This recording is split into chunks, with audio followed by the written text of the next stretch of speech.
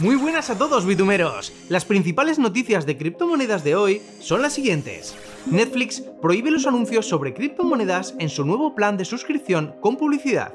La nueva ministra de Reino Unido, Liz Truss, está a favor de las criptomonedas. Empresas se unen para que Bitcoin sea más privado. The Merge está impulsando a Ethereum Classic. Terra Classic se ha marcado un por cien en un mes. Recuerda darnos un like, suscribirte y darle a la campanita para poder continuar haciendo contenido como este. Quédate que comenzamos.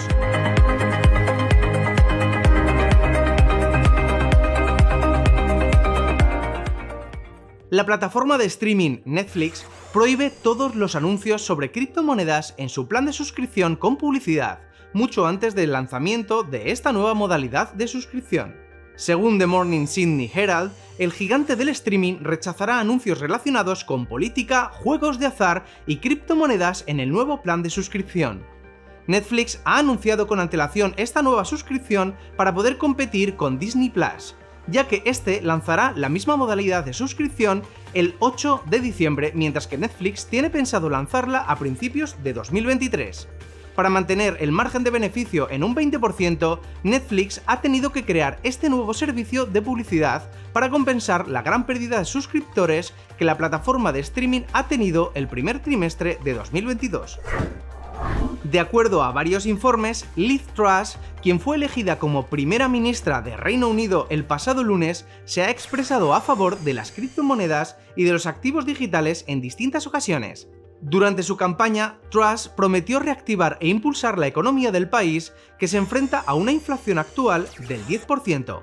En este contexto, hay quien considera que las criptomonedas y los activos digitales pueden llegar a tener un espacio en el nuevo gobierno.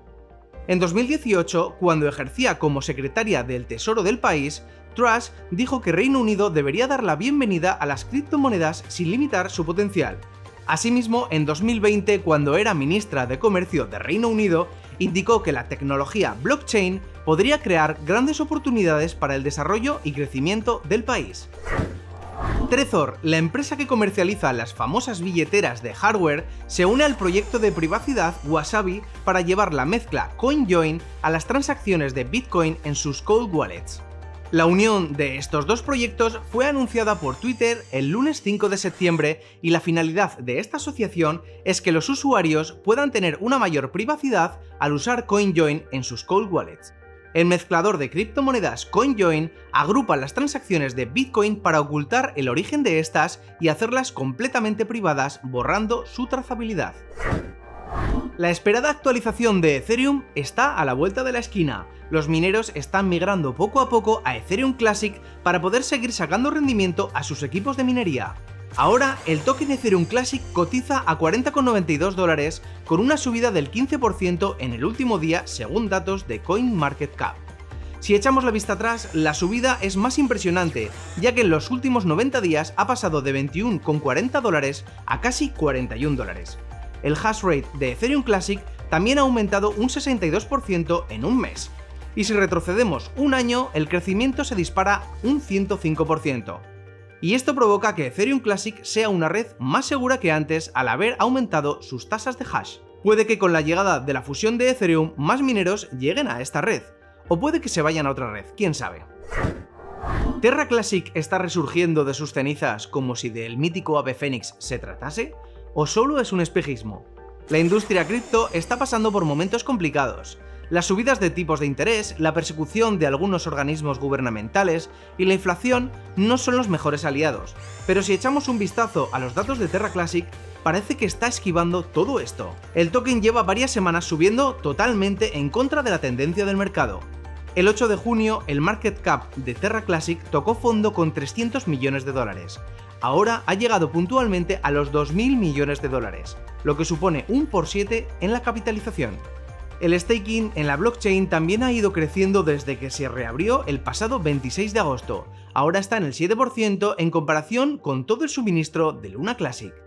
Aunque no todo es tan bonito ya que existe discordia y disparidad de opiniones dentro de la propia comunidad a causa de la poca fiabilidad que aporta su fundador, Do Habrá que estar atento a ver cómo avanza Terra Classic, sobre todo el 12 de septiembre que está prevista una quema masiva de su token. Y con respecto a esta noticia te lanzamos una pregunta. ¿Crees que Terra Classic volverá a cotizar en 100 dólares? Si es así, déjanos tu opinión en los comentarios. Ya sabes que el más destacado lo pondremos en el noticiario de mañana. El comentario que hemos seleccionado de la pregunta de ayer sobre si crees que Bitcoin puede bajar a los 10.000 dólares es de Francisco Javier Martínez Alejos. Muchas gracias por escribirnos y contarnos tu opinión. Y si has llegado hasta aquí, posiblemente te interese este vídeo que te recomendamos. Si quieres seguir aprendiendo sobre criptomonedas, pincha en este otro vídeo. Por último recordarte que puedes suscribirte a nuestro canal pinchando en el botón de aquí abajo. Un abrazo bitumeros, nos vemos mañana con más noticias. Adiós.